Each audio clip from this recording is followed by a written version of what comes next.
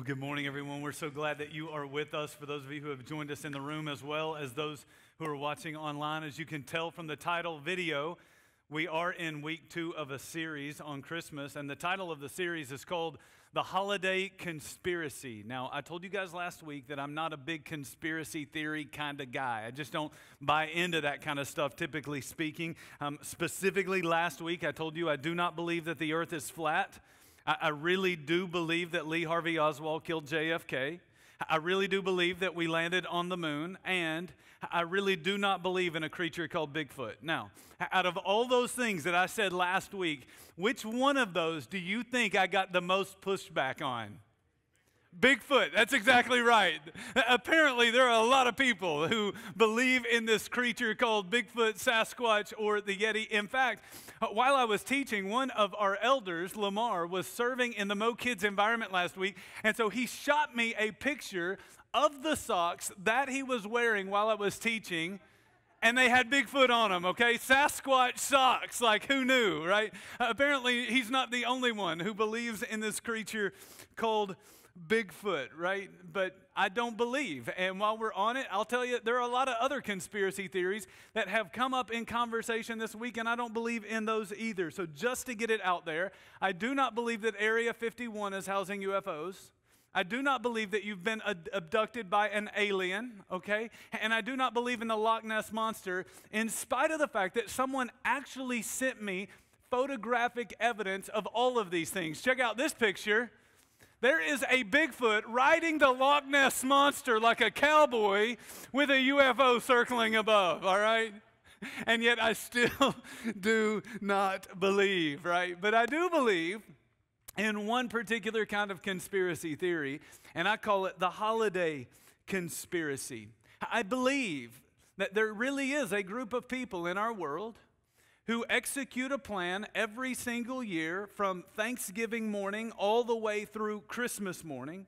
I do believe that their plan is harmful for you, but it is very, very profitable for them. I believe that people in the retail industry have basically hijacked Christmas in this country, and they have turned the Christmas season into something that it was never really intended to be. Now, th- this series is not an attack on the retail industry. It's not a, a, call to boycott shopping in any kind of way, but it is an attempt to try to take us back to what Christmas was truly always supposed to be about in the first place. My hope, my desire is that we could actually just do Christmas the way that Jesus would do Christmas if he were still living on the earth today. And so that's the question that we've been wrestling with throughout the entire series. How would Jesus do Christmas. Now, last week I started answering the question in part. First thing I said is that I think Jesus would spend less. This week I want to build on that thought a little bit more because I don't just think that Jesus would spend less, I also think that Jesus would give more. Now, I know that for a lot of you that sounds very confusing. It may even sound like a complete contradiction, okay? It's not. My mom called me uh, on Thursday morning this week. She said, Brandon, what are you teaching on this weekend? I said, I'm teaching on give more. And she goes, You can't teach on give more. I said, Why? She said, Because last week you said spend less. So I already took all of your Christmas presents back to the store, and you're not getting anything this year, right? And so I said, No, no, mom. And so I had to explain w- what I meant when I said last week was all about spend less, this week is all about give more. Because what I'm not talking about is giving more to people who already have everything that they need. I'm talking about giving more to people who are really in need. You see, when Jesus was on the earth, Jesus spent a lot of time talking about caring for the poor, spent a lot of time teaching people about the importance of caring for the orphans and for the widows who have been left behind to fend for themselves. And in the midst of all of that teaching that Jesus did, Jesus taught us a principle. This principle is actually not found in any of the Gospels that tell the story of Jesus Christ, but it is recorded for us in the book of Acts. It's found in chapter 20, verse 35. Paul is speaking, and this is what he said. He said, In everything I did, I showed you that by this kind of hard work, we must help the weak, remembering the words the Lord Jesus himself said It is more blessed to give than to receive. So I want you to think about with me for just a minute. think about Paul, you think about what he's saying. Why is it that Paul felt like he needed to work so hard while he was on the earth? Why is it that followers of Jesus today should continue to be people who work really hard while we're on the earth? In part, the answer to that question is that we work hard so that we can help the weak, to use Paul's words. So, the idea here is that you have been blessed. I have been blessed with the ability to do a job and with a job that I can go to every day and make money. And yet, the idea here is not just that Brandon has been blessed, it's that Brandon has been blessed to be a blessing to other people. And that's not just what God wants for me, that's what God wants for all of his people. Now, the problem or the trap that a lot of us fall into is when we work hard, but we work hard exclusively for our own benefit or for the benefit of our own families. And when that starts to happen, it's usually an indicator that we either don't understand or we don't believe this principle that Jesus taught us that it really is better to give than it is to receive. It really is more satisfying for you to, to live a life where you give to others rather than consuming all of the time for yourself. And so, I thought this week, I thought, how do you illustrate that in a way that people really get it? And so I thought about El Saltillo. You know, everybody loves El Saltillo. You go to the restaurant here in town, and if you're like me, what you typically do when you get to El Saltillo is you sit down and you start eating the chips and salsa, and you fill up on the chips and salsa before your food ever even gets there. And so, what's happening to us is we get the chips and salsa and we start to consume, and we start to consume more and more because we're looking for satisfaction right here and right now. And we fail to think about the fact that there is something that is far more satisfying that we could enjoy in just a short period of time. And the same is true in our work. So when God blesses you, you could consume it all and you could be somewhat satisfied. Or you could believe the teachings of Jesus that it really is better to give to others than to consume it all for yourself. And you could live this new life like Jesus lived life, where it's not just about consuming, it's also about contributing. It's not just about receiving, it's also a life about giving that really is a far more satisfying way to live. And so, this is the issue that Jesus is going to address as we go back this week to Luke chapter 12, same chapter that we were in last week. This week, we're going to pick it up in verse 16. Here's what the text says It says, And he told them this parable The ground of a certain rich man yielded an abundant harvest. And so he thought to himself, What shall I do? I have no place to store my crops. Then he said, This is what I'll do. I'll tear down my barns and I'll build even bigger ones, and there I will store my surplus grain. And I'll say to myself, You have plenty of grain laid up for many years. Take life easy, eat, drink, and be merry. But God said to him, You fool, this very night your life will be demanded from you. Then who will get what you have prepared for yourself? This is how it will be with whoever stores up things for themselves but is not rich toward God. And so, throughout this whole section of Luke chapter 12, Jesus is warning us about the dangers of greed and the dangers of always trying to consume more things for ourselves. And when you look at this man, the man has a problem, okay? The man has far more than he will ever need, but he's not even thinking about the fact that there are other people who are in real need.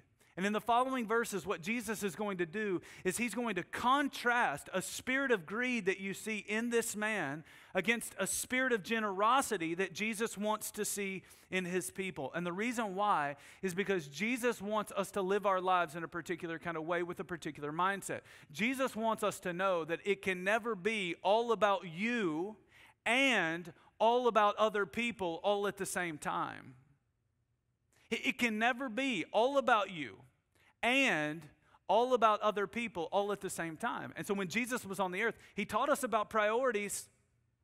When Jesus was on the earth, he said, You should love God, and second greatest command is you should love other people. You, should love your neighbor as you love yourself. And yet, when a spirit of greed starts to creep into our lives, we become consumed with consuming more. And now it's all about us, and it's not about being rich toward others, and it's certainly not about being rich toward God. And the principle here is that it can never be all about you and all about others all at the same time.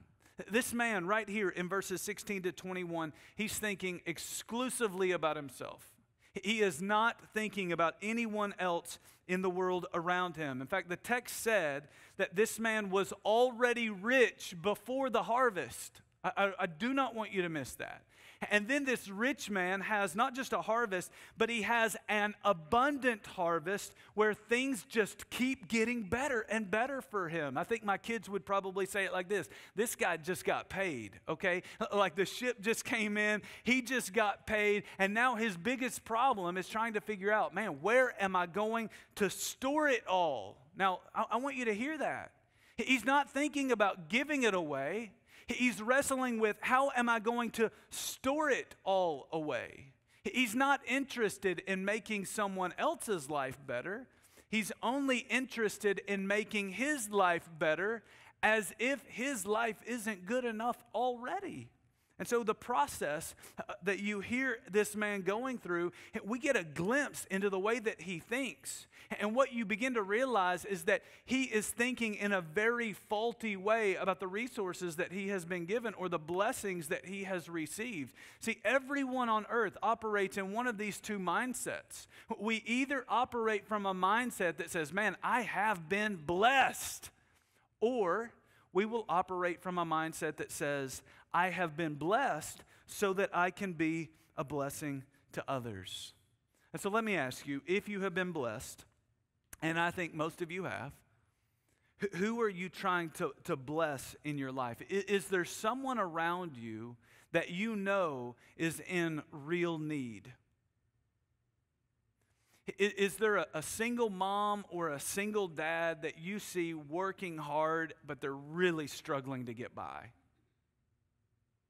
Is there a, a student that you see every single day?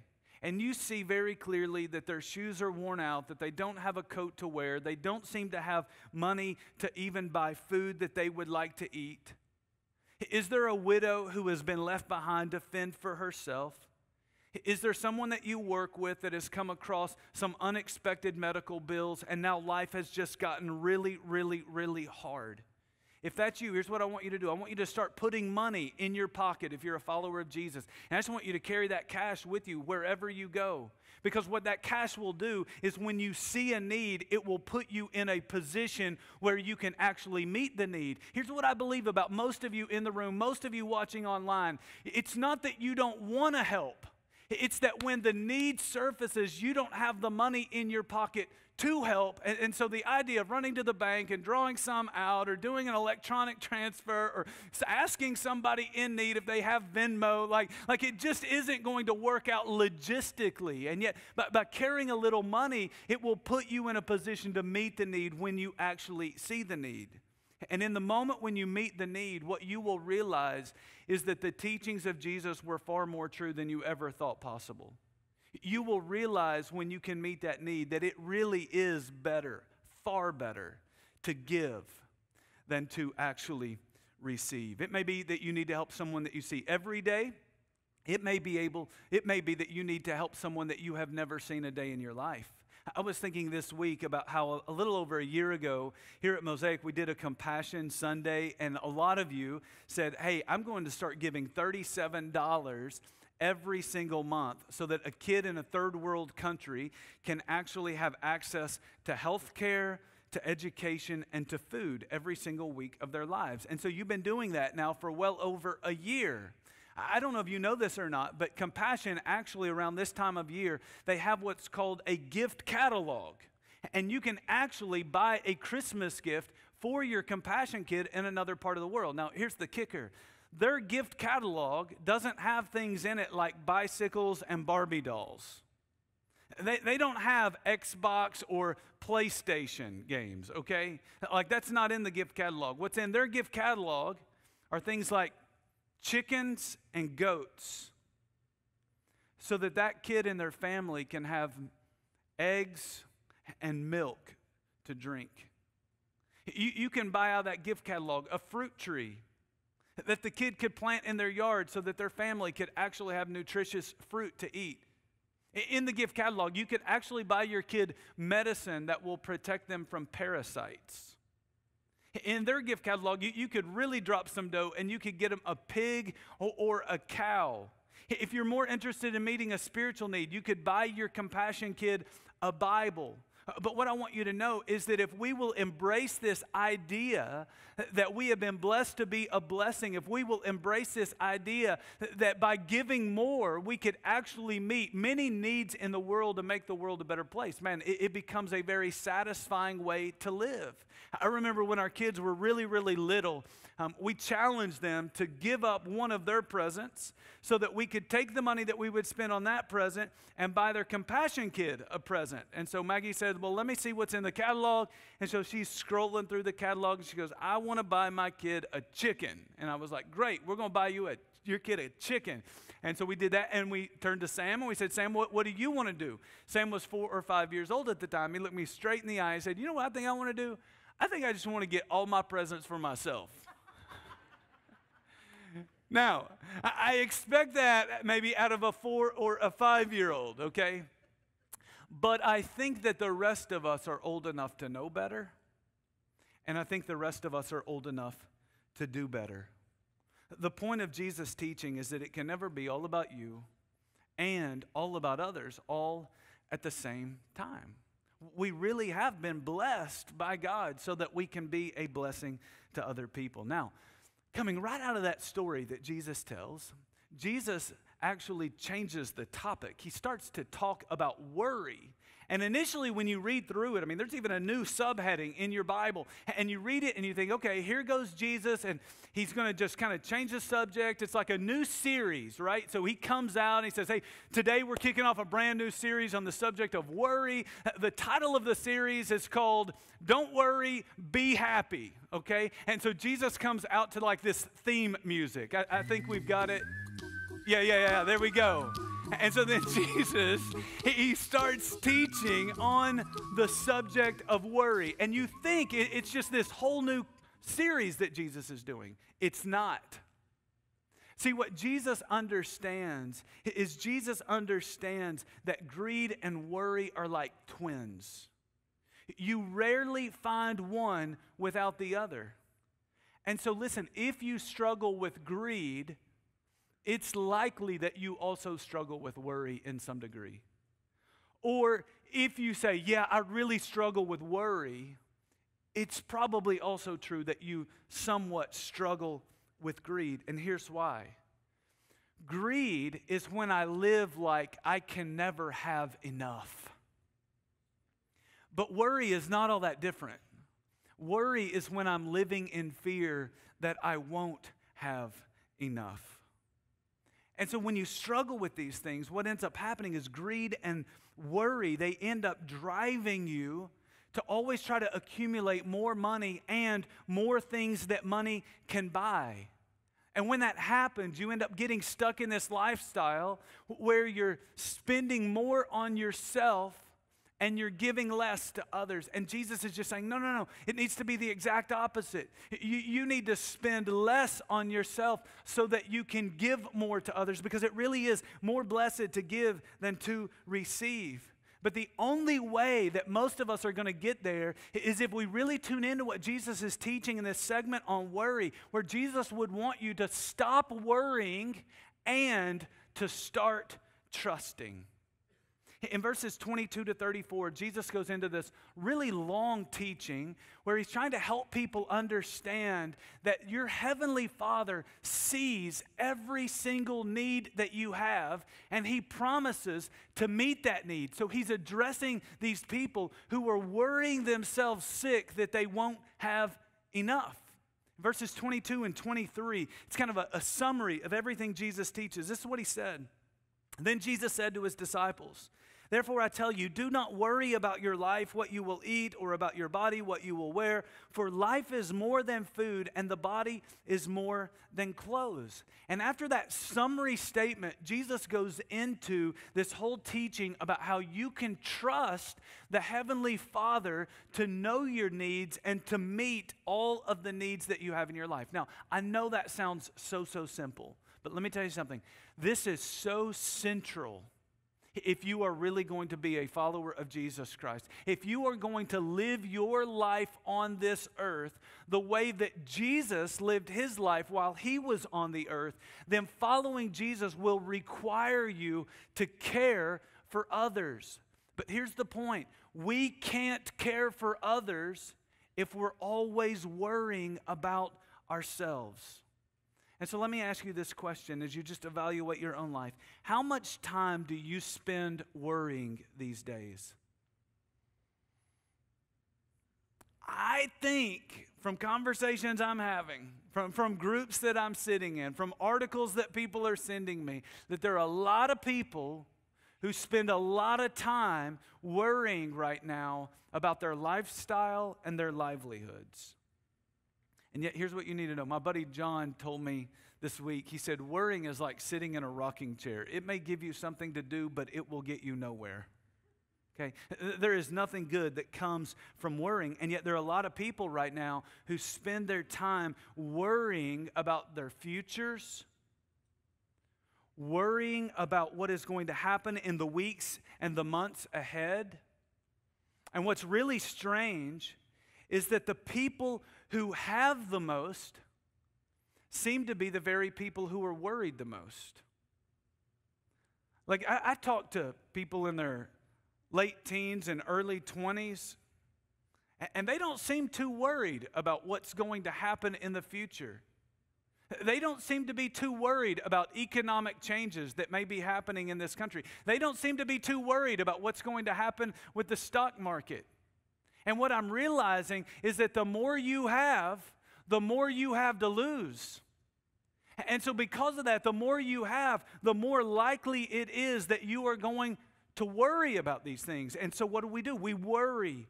We worry maybe not about our needs being met, but we do worry very much about our lifestyles being affected. And yet, I want you to hear what Jesus said about worrying about these kinds of things. Verses 25 and 26. He said, Who of you by worrying can add a single hour to your life? Since you cannot do this very little thing by worrying, why do you worry about the rest? He's like, look, look, worry doesn't do you any good at all. But let me tell you something worry will do a lot of bad things to you. Worry will start to affect your sleep patterns. It will ultimately affect your health. It will affect your stress levels. For those of you who are not very self aware, let me help you understand yourself. When you worry, you're not very fun to be around.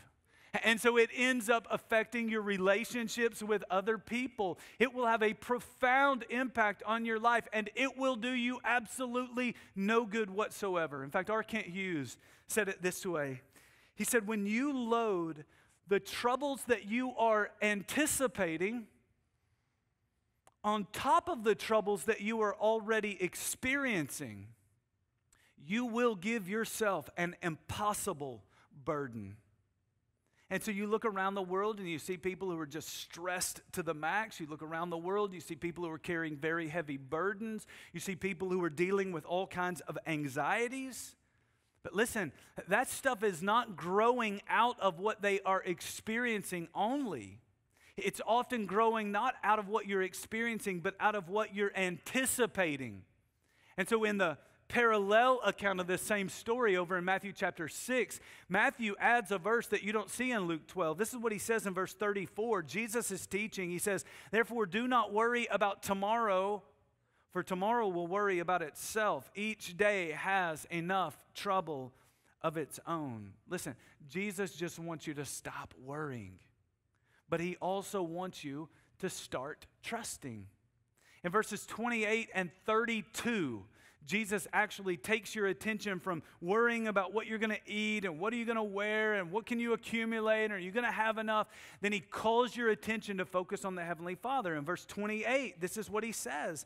He said, "If that is how God clothes the grass of the field which is here today and tomorrow is thrown into the fire, how much more will he clothe you, O you of little faith?" He's saying, I don't want you to worry. I want you to trust. And so you kind of get this image that Jesus is standing out in this open field and there's grass in the field and he looks at the grassy field and there's all these beautiful flowers that are growing up. And he just uses it as an illustration to say, look at how God clothed the grass of the field, which is here today and it's gone tomorrow. It'll be thrown into the fire. It's not nearly as valuable as you, a man or a woman who has been created in the image of God himself. If God is going to care for the grass in the way that He cares for the grass, how much more will He care for you? Stop worrying and start trusting. Then He said this in verse 32. He said, Do not be afraid, little flock, for your Father has been pleased to give you the kingdom. Do you hear how generous the Heavenly Father is, not just in this life, but also in the life to come. See, Jesus knows that the Father is generous, and so Jesus thinks in a way that is radically different than the way most of us think. Listen to me, Jesus operates from what I would call an abundance mindset, whereas most of us are operating from a scarcity mindset. And so, a scarcity mindset is when you believe that there is a limited amount of resources. And so, because there's a limited amount of resources, you're reluctant to give it away or share what you have with other people because you're constantly worrying that there won't be enough for you. That is not how Jesus thought. Jesus did not operate from a scarcity mindset. He operated from an abundance mindset. He knew that the Heavenly Father did not have a limited amount of resources, He had an unlimited amount of resources. He wasn't working with the finite, He was working with the infinite. He knew that the Heavenly Father, according to Psalm chapter 50, owned the cattle on a thousand different hillsides. And it was this abundance mentality that caused resources to flow to Jesus and then flow through Jesus to meet the needs of other people. And so think about the story when Jesus is standing in front of a crowd of like 5,000 different people, and these people are hungry, and Jesus has this little boy's lunchbox that just has a little bit of bread and a little bit of fish. Did Jesus operate from a scarcity mentality that goes, man, what are we going to do? I just don't think we're going to have enough. No. Jesus prayed to the Father who has an unlimited amount of resources. And then he told his disciples, Give to all of these people as much as they want to eat. And at the end of the feeding, there were 12 baskets full of fish and bread that were left over. Jesus wasn't worried that there wouldn't be enough because he operated from an abundance mentality, not a scarcity mentality. And so let me just say this as we start to land the plane God is a God who doesn't just want to take care of you in this life, He is a God who wants to take care of you in the life that is to come. And it really is why we have Jesus, and it is why we have Christmas. See, Christmas is not just about you spending less so that you can give more to people who have a need. Christmas is ultimately about God generously giving us His Son to meet our greatest need a need for forgiveness and a need for leadership in our lives so that we can live a life that is more consistent with how Jesus lived, that is far more satisfying than what we currently live. That's Christmas. The implication of everything that Jesus is teaching is that you can trust God to take care of you so that you can spend the rest of your life taking care of others. That's the conclusion that Jesus wants to bring you to. You can spend the rest of your life trusting that God will take care of you so that you can spend the rest of your life taking care of others. Watch the way Jesus concludes this teaching segment. Verse 33 Sell your possessions and give to the poor. What is Jesus saying? you have far more than you really need. And you need to start thinking about caring for people who have real needs. He goes on, the text says, provide purses for yourselves that will not wear out, a treasure in heaven that will never fail, where no thief comes near and no moth destroys. You've heard people say, you can't take it with you when you go. That's absolutely true. You know what Jesus is teaching? You can't take it with you, but you can send it on ahead.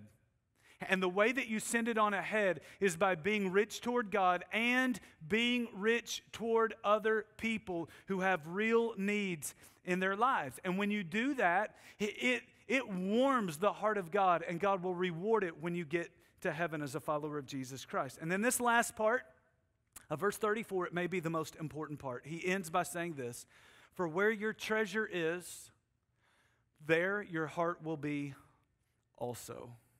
Let, let me tell you something about Jesus. Jesus isn't interested in your money, but Jesus is very interested in your heart. And Jesus wants your heart to be fully devoted to Him, and He wants your heart to be fully devoted to other people. And it's why He said it really is better to give than to receive. It's not just better for others, it's also better for you and it's better for your heart. And so this Christmas, let's just continue to think about and live like Jesus would live. Let's do Christmas the way that Jesus would do Christmas by spending less on ourselves, who already have everything that we need, so that we can give more to people who have real needs. I wrote a prayer and I want to give it to you because I know this is a struggle for a lot of us. So, this is a prayer that you can use to have a helpful conversation with your Heavenly Father about this struggle and this teaching. This is what I wrote. It's in your app so that you can take it home with you. It says this Dear Heavenly Father, I confess to you that I struggle with greed and worry. Like the man in Luke 12, I've been storing up plenty for me, but I've been doing very little for others. God, I thank you that Jesus forgives me for this self centered way of living. I pray that you will change my heart. God, please make me more like Jesus. Help me to trust that you will take care of me so that I can focus my life on taking care of others. God, help me to see those in need, but also give me the courage and compassion to meet the need when I see it. In this way, I pray that you will use me to make the world a better place. In Jesus' name that I pray, amen.